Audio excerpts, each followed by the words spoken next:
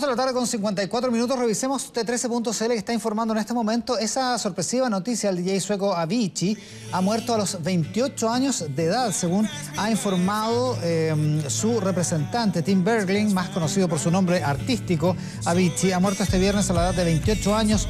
En información dice T13.cl confirmada por su representante. Es con profunda pena que anunciamos la pérdida de Tim Bergling, que fue encontrado muerto en Mascate, en Oman, este viernes por la tarde, hora local 20 de abril. La familia está devastada y les pedimos a todos que respeten su necesidad de privacidad en este momento difícil. No se darán más declaraciones. Esto le lideraron la información por el portal TMZ. Avicii, una de las eh, figuras de la música electrónica, DJ, productor, remezclador, según eh, sus eh, reseñas, consiguió la fama a inicios de esta década. Muy joven, nació en Suecia el 8 de septiembre de 1989.